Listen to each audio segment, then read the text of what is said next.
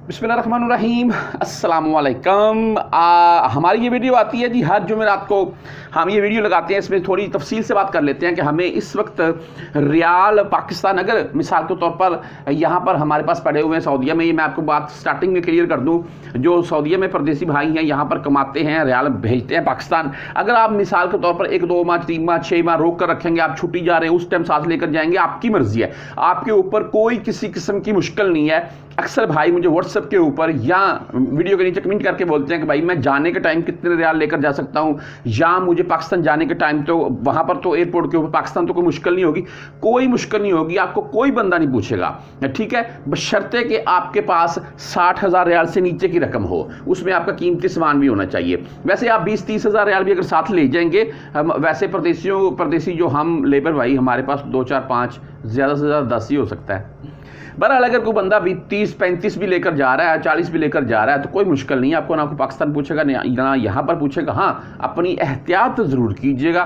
उन रियालों को संभाल कर रखिएगा अपने पास। ये मैं आपको बोलूँगा। बहरहाल, ये इसलिए बात कर रहा था कि कुछ भाई इस डाउट में रहते हैं, मैं कितने लेकर जा सकता हूँ या पाकिस्तान में तो नहीं, मुझे पूछ लेंगे, मैं भाई मिसाल के तौर पर बीस हज़ार रियाल ले जो वहाँ पाकिस्तान के एयरपोर्ट के ऊपर मुझे रोक लें वो पूछे, तू किधर से? हाँ नहीं, इसके ऊपर नहीं पूछेंगे। हाँ आप तीन चार आईफोन लेकर चले जाएँ, न्यू डब्बा पैक तो फिर आपको पूछ सकते हैं वो। हाँ ये ये चीज़ है जी। एक तो मोबाइल आप ले जाएँ, कोई मसला नहीं। अगर आपने तीन, चार, पाँच इकट्ठे रखे हुए हैं तो फिर आपको पूछ पूछ आपसे हो सकती है, पाकिस्तान में। यहाँ पर फिर भी नहीं होगी। अच्छा बहरहाल जी, न्यूज़ के मतलब बात कर लेते हैं, और रियाल रेट मैंने इससे पहले जो वीडियो लगाई, उसमें आपको डिटेल से बता चुका हूँ मैं, उसमें इस चीज़ का भी ज़िक्र किया था कि अस्सी, एट्टी पर जाएगा दोबारा। दोबारा। आपको पता है, पहले इक्यासी बयासी पर चला गया था और उसके बाद फिर एकदम से कम होता। सत्तर इकहत्तर पर भी आया और अभी चौहत्तर रुपए के अराउंड में अभी भी रेट है। पाकिस्तान में आपको चौहत्तर रुपये पचास पैसे से लेकर पचहत्तर रुपए के अराउंड में अभी भी रेट मिल जाएगा पाकिस्तान में एक्सचेंज रेट ओपन मार्केट ठीक है? दरहम बाई रियाल से दो दो रुपए आप बोलने के ज़्यादा ही होता है। अभी बात यह है कि मिसाल के तौर पर एक मैं आपको एक शॉर्ट सी बात बता देता हूँ, उसके बाद आप खुद ही भाई समझ जाइएगा कि अभी हमें भेजने चाहिए। नहीं भेजने चाहिए ये कब तक भेजने चाहिए? जो प्रदेशी है, मैंने जैसे स्टार्टिंग में बोल दिया, आप छः माह के बाद भी छुट्टी जाए ना भाई, आप अपने रियाल तब भी साथ लेकर जाएँ, अपने पास रखें, आपको कोई बंदा नहीं पूछने वाला, ना आपके ऊपर कोई डाउट है। हाँ जो पाकिस्तान में बैठे हुए स्मगलर हैं, यानी कि जो डीलर हैं, वो रियाल लेकर रख लिया डॉलर लेकर रख लिए, बाद में महँगा होगा, निकालेंगे, वो भाई गैर कानूनी है फिर। वो हमारा और उनका भाई ज़मीन आसमान का फ़र्क है, हम और चीज़ है, आप मेहनत हम मेहनत से कमाते हैं, और वो जो डीलर हैं, वो भाई फिर एक आप पूरे काला धंधा है। तो पाकिस्तानी गवर्नमेंट उसके मतलब एक्शन भी लेती है। तो आप परदेसी भाई इस जुमरे में नहीं आते, ये क्लियर कर दूँ आपको मैं, ठीक है जी? अस्सी के ऊपर मैंने आपको रेट बता दिया, अभी का रेट जो है, अस्सी के ऊपर दोबारा जाएगा या नहीं जाएगा, सुन लें। आने वाले दिनों में, रियाल में मेरे मुताबिक इजाफा होगा। ठीक है? अभी ये देख लेते हैं इलेक्शन से पहले या इलेक्शन के फ़ौरन बाद, ठीक है? रियाल रेट में इजाफा होगा, मुझे लगता है।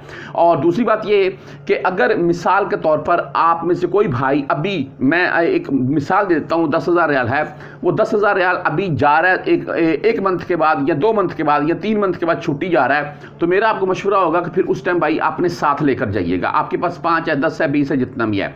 इन ताला डेफिनेटली बात है, आपको अच्छा खासा फ़ायदा होगा, ये मेरी बात याद रखिएगा। और दूसरी बात, एक चीज़ और बता दूँ, जो भाई अभी रियाल सेंड कर रखे हैं, अभी भी रेट अच्छा है कम नहीं है, ठीक है? और अगर मिसाल के तौर पर आपको ज़रूरत नहीं है पाकिस्तान में तो मैं ये बोलता हूँ कि चंद दिन वेट कर लें।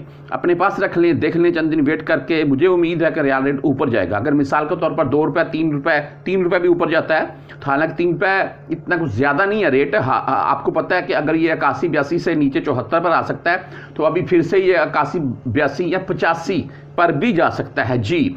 और अगर ये मिसाल के तौर पर तीन रुपये भी बढ़ता है, यानी कि चौहत्तर से सत्तर हो जाता है तो उस अराउंड में भी अगर आपके पास दस हज़ार रियाल है और आप पाकिस्तान लेकर जाते हैं तो भाई तीस हज़ार तो ये बढ़ गया, ऊपर से एक रुपया पाकिस्तान में साथ लग जाएगा। जो आप सऊदी से रियाल भेजते हैं, उसकी नस्बत पाकिस्तान में अगर जाकर आप एक्सचेंज करवाएँगे तो डेफिन एक एक, ये कन्फर्म है कि एक रुपये का उसमें इजाफा होगा, ठीक है जी? और तकरीबन तीस से चालीस हज़ार का आपका फ़ायदा हो जाएगा। हाँ आने वाले दिनों में आप छुट्टी नहीं जा रहे हैं, आप सऊदीया में आप बोल रहे हैं कि मैं यहीं से सेंड करूँगा, अभी भेजूँ या वेट करूँ तो फिर आने वाले चंद दिन तक वेट करें भाई। इलेक्शन से पहले या इलेक्शन के फ़ौरन बाद। उस टाइम रेट हाई होगा, उस टाइम भेजिएगा, आपको इन ताला अच्छा खासा फ़ायदा हो जाएगा। अगर मैंने जैसा कि आपको, यार डिटेल तो बता चुका हूँ, तीन रुपये भी बढ़ गया तो भाई दस हज़ार के पीछे तीस हज़ार है। अगर अस्सी पर चला गया तो फिर तो भाई छः रुपये बढ़ेगा और दस हज़ार अगर किसी के पास हुआ तो भाई वो साठ हज़ार का फ़ायदा उठाएगा। और अगर वो दस हज़ार पाकिस्तान लेकर जाएगा तो सत्तर हज़ार का, पैंसठ से सत्तर हज़ार का फ़ायदा उठाएगा, ये कन्फर्म है।